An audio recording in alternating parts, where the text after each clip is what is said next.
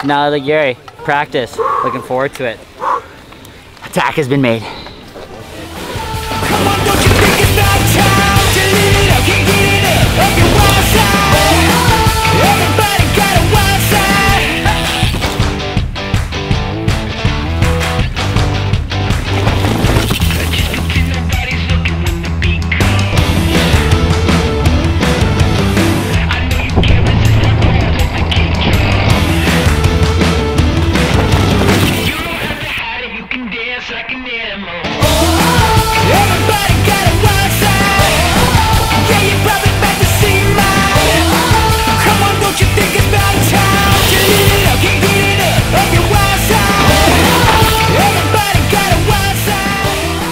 A big change from normals races that we've done this year. Like a lot of it's been like really low speed, kind of technical, like pick your way through. And so far the first two stages this morning have just been like full throttle, no brakes, just kind of one one to two lines maybe, like not a whole lot of options. There are so many lines the bottom. I can't tell if you're being, yeah? You're gonna show me on your GoPro? I'm gonna have to make a few changes to the bike to just like stiffen it up because it's just too soft for this kind of riding, but other than that, it's awesome. Big time on the bike, long, uh, long liaison, long transfer. But I really enjoy the big part of the trial. It's gonna be tough. no, very easy day tomorrow and prep for a uh, very big day on Sunday. So um, yeah, just take it as it comes and let's get ready to go.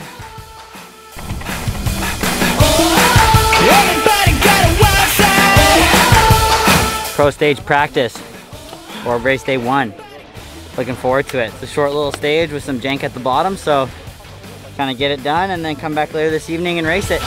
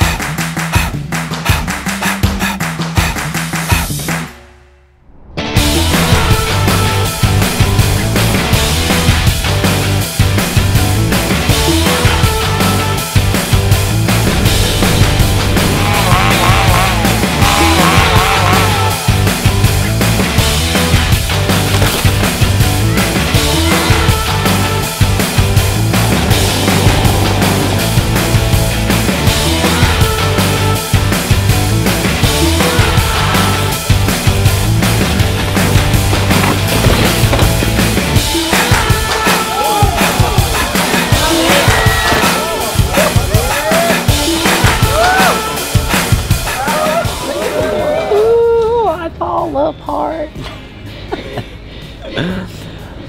what a roller coaster of a day. Had some top 20 stages, some top 50 stages. it was a bit of a roller coaster. I couldn't really keep it smooth. I was on one, like on a really good one right at the start of the day and just like, like kind of misjudged where I was. I thought that there was like a double right-hander, but I turned right when I should have turned left and just wrapped myself around a tree. Hurt my back a little bit. Other than that, it was a proper enduro day, and I hope we do more like that. I didn't really find my pace here. Uh, I know I can, uh, can do better. I was 7 before the last one and I lose too much time on the last and I finished 11 so that uh, not bad result but uh, I expect more of that so see you next year for a real result.